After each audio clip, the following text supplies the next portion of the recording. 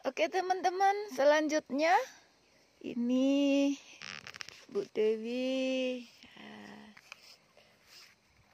Setelah tadi untuk lahan yang mau ditanam timun, nah sekarang kita juga memvideokan untuk lahan yang uh, ditanami kacang buncis teman-teman. Nah ini kondisi tanamannya segini sebelum di semprot dengan pupuk paten. Nah, ini juga nanti akan disemprot dengan pupuk paten, teman-teman. Dan ini juga lahan terong, teman-teman. Nah, ini hasil panen sebelumnya.